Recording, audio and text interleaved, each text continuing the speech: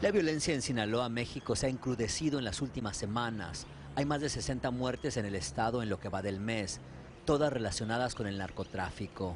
Ayer tuvimos eh, ocho ejecutados en, en, la zona sur de, de, Sinaloa, seis en Mazatlán y dos en un municipio cercano, y eso es parte de lo que está ocurriendo y de lo que se viene. ¿no? El ejército mexicano tiene una fuerte presencia en el estado, patrulla hasta en unidades de la policía municipal. Dicen aquí que el cartel de Sinaloa está reacomodando sus fichas ahora que el Chapo ya no está en México. Los conflictos se van a dar al interior de la organización del Chapo, pero también se pueden dar eh, entre la organización del Chapo y el resto del cártel de Sinaloa. La falta de un jefe absoluto podría estar creando una crisis en la organización, ahora que no existen posibilidades de que el Chapo regrese. Creo que el cartel de Sinaloa tiene que acelerar este proceso de, de recomposición que lo ha metido también en una situación de crisis al interior. Varios grupos internos del mismo cartel estarían buscando un nuevo líder.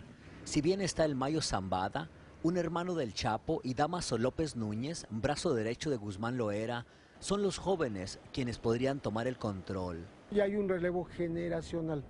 Ya los hijos del Mayo, los hijos de Esparragosa, los hijos de Coronel y los hijos del Chapo están eh, prestos a tomar la estafeta. Esas organizaciones se pueden separar perfectamente y trabajar por su cuenta o entrar en pugna. Y por si los problemas no fueran suficientes, hace apenas unos días las autoridades mexicanas arrestaron aquí en Culiacán a El Negro, otro importante capo e hijo de Juan José Esparragosa Moreno, el Azul, uno de los tres grandes líderes del cartel de Sinaloa.